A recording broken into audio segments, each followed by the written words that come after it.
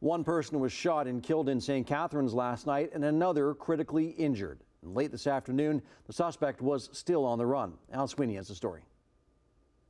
Police investigators were on the scene throughout the day with evidence markers at the apartment unit where the shooting took place. The shots echoed through the neighborhood Saturday night. Three shot, three shot I hear, not because I'm scared, okay? I'm scared, I'm shocked, okay? Because when I see so many police cars there, I was thinking, what has happened? Police got the call shortly after 9:30 to this building on St. Paul Street West in St. Catharines.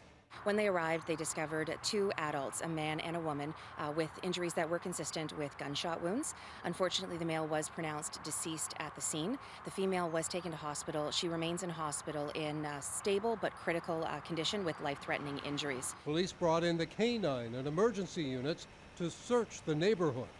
Friends of the man who was shot say he was a farm worker originally from Jamaica, but he had been working here in Niagara for years.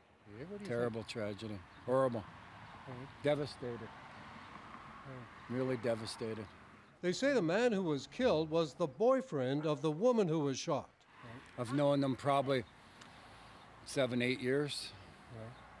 What, what were they like? Good people? Very nice people, both of them. I was shocked.